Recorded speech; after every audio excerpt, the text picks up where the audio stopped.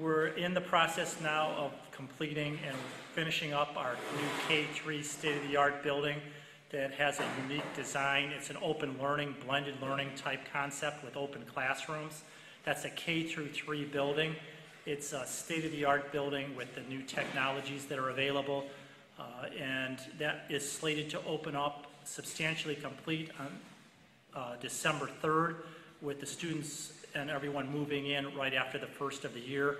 So they will be making that transition right during the 2014-15 school year.